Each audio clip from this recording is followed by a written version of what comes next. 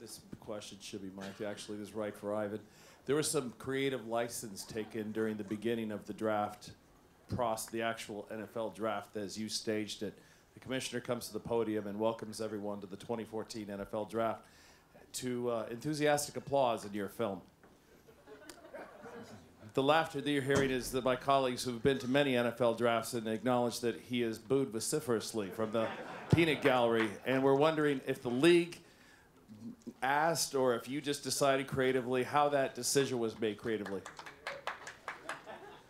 Um, honest to God, they never said anything about the booing or the applause. and uh, I certainly heard enough booing on that night, particularly from Jets fans uh, in the 2013 draft. Um, we actually recorded live for some of that stuff uh, and have the boos, but yes, you're right. We did. Um, uh, we did add more applause because I think it would have been somewhat confusing for people who don't know anything about the draft and the history, the humorous history of, uh, of that. Any more questions? Over here. Hey, Denis, Paul Sylvie, King TV in Seattle. As a guy who clearly speaks his mind, how much do you appreciate a guy like Richard Sherman and some of these other guys who, who, who are a little bit more boisterous about their comments and, and in this mundane world sometimes where the comments are always the same after and before games? Um, I, I, I'm old school. Ostensibly, I like Barry Sanders, like act like you've been there before, but um, those days seem to be long gone. Um, I like stuff like that, man. I'm a, you know, I'm a, as a sports fan, you know, uh, I, I, like when guys, you can talk trash and you can back it up. I think you're fine. Personally, I would not say anything about Peyton Manning's passes before the Super Bowl. I would not try. I would try to stay away from the guy, you know, pissing off a guy like that. Uh, but I find it very entertaining. I mean, um, I think that kid's a smart kid, uh, and it's entertaining during Super Bowl week to have people saying funny stuff. But I would have, I stayed away from saying ducks about Peyton's passes. Uh, and I think, you know, I hope he doesn't pay for it on Sunday. Kevin, Kevin, hello. Your character is under incredible tension for 24 hours, besides the personal issues that he's dealing with. Professionally, did you ever uh, ask, is this really this bad for 24 hours, the day of the draft, the tension?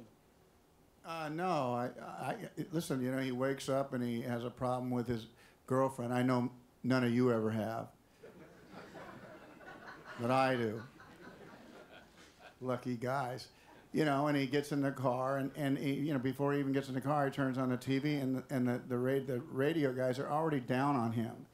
And he gets in the car, and they're down on him. I mean, they want to run him out of town. And there's a scene in a movie that you don't see where he gets to the gas station, and a woman kind of gives him a smile. The first person to give him a smile, then she basically says her and her brother plan to burn his house down if, um, if they screw up this draft. So it doesn't stop for him.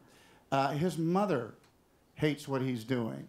Uh, and so he is under enormous pressure. So no, I, I, I, can feel that. That this they start planning for the draft right after this one's over, and um, I know what it's like to focus that way. So I didn't find that unbelievable at all. It was uh, it was something that drew me to it. It was it was well, very well drawn. Any more questions? How about a round of applause for